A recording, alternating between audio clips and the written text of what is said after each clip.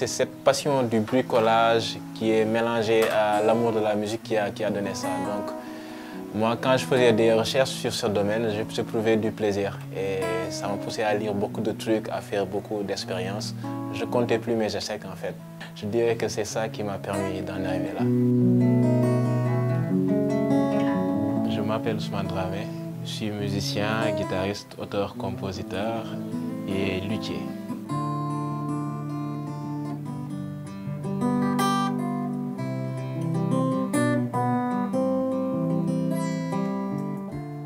J'ai débuté la guitare assez, assez jeune.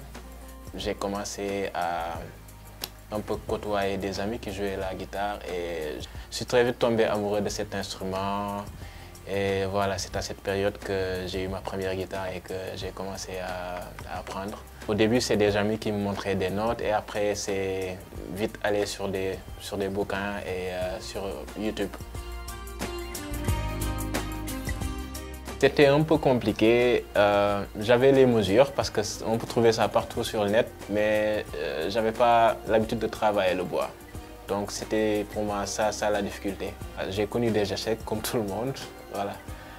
Et au bout de trois guitares, j'ai fait une guitare et j'en étais fier. Donc je me suis dit que voilà, je, je, je tiens ma formule.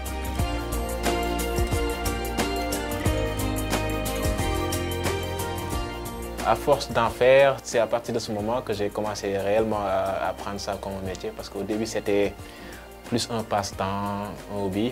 Et j'ai commencé à acheter mon matos peu à peu et à côtoyer plus des, des menuisiers parce qu'il n'y a pas de luthier au Sénégal. Donc c'est eux qui se rapprochaient plus de ce que je cherchais. C'est là que j'ai commencé vraiment à, à, penser à avoir un atelier. Euh, là, je suis en train de mettre les contours. C'est plus pour le, pour le confort de jeu.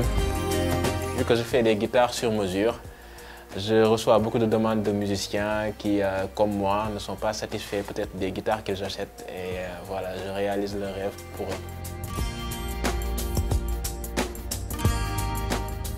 Je fais plus euh, des guitares type thin line, comme on dit. C'est des guitares voilà, qui sont assez fines.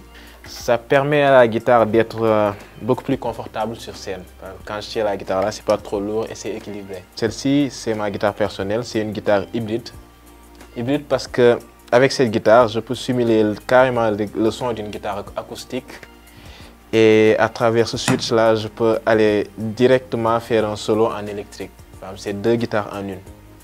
Là, je t'explique un peu.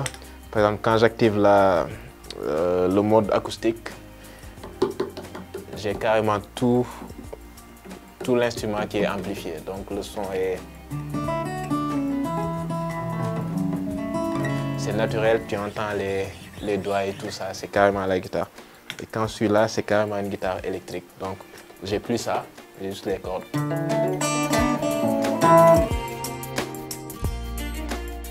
On fait tout ce qui est bois ici et je commande les frettes. Les frettes, c'est les barres qui sont là. Je les commande en Europe et euh, les mécaniques. À part ça, tout le reste est fait ici. Euh, mon souhait, c'est que l'entreprise puisse s'agrandir euh, parce que je me dis que ça peut créer beaucoup d'emplois parce qu'il y a le marché de la menuiserie, par exemple, qui n'est pas trop loin de, de celle de la lutherie, qui est en train de mourir au Sénégal.